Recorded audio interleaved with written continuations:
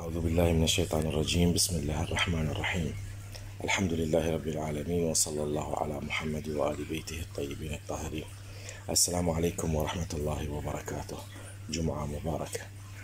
هذا الفيديو بتاريخ اليوم الموافق للعشرين من شهر تشرين الأول 2023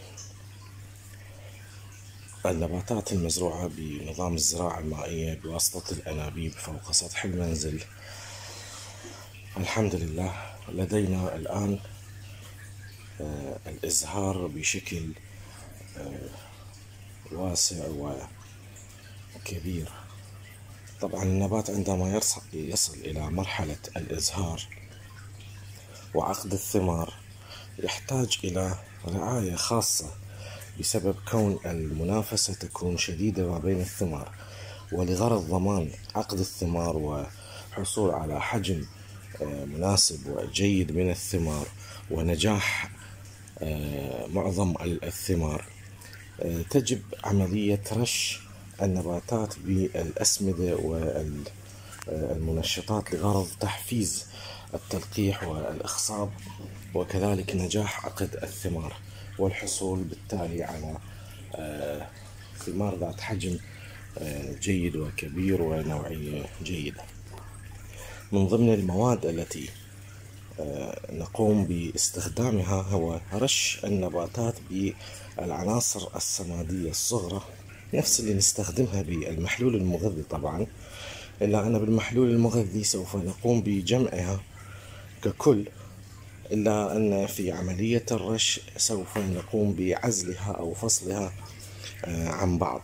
مثلا آه، نقوم في يوم برش ال NPK فقط. ثم نقوم في يوم آخر بعد عدة أيام برش الكالسيوم مثلا والبورون. بالنسبة للكالسيوم والبورون مفيد جدا في آه، عملية عقد الثمار وعدم آه، سقوط الأزهار. فهذا بالنسبة لهذا العدد الكبير من الأزهار تحتاج إلى دعم وإضافة لغرض الضمان. ضمان حصول عملية التلقيح والإخصاب موجود في الأسواق عدة أنواع من الأسمدة السائلة أو الأحماض الأمينية أو الطحالب أو الكثير إلا أنه هي معظمها ترتكز على العناصر الصغرى والعناصر الضرورية المهمة لنمو النبات وتكوين الثمار.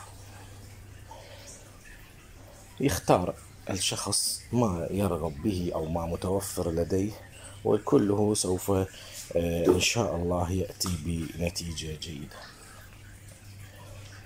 طبعا بالنسبة لعملية الرش الأفضل أن تكون في الصباح الباكر وليس عصر حتى نستفاد من عملية فتح الثغور التي تبدأ في بداية الصباح.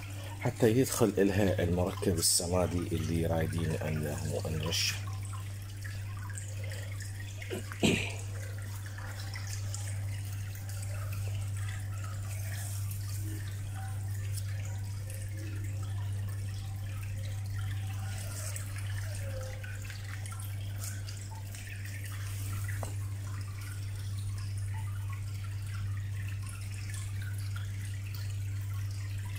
الطماطم الكمثرية الصفراء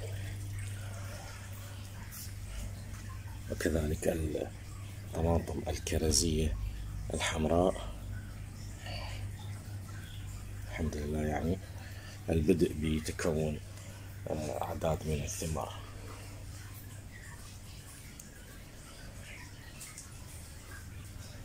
إذا في عملية رش النباتات بالعناصر السمادية التي تعتبر تكميلية آه، لغرض آه، ضمان عقد جميع هذه الأزهار.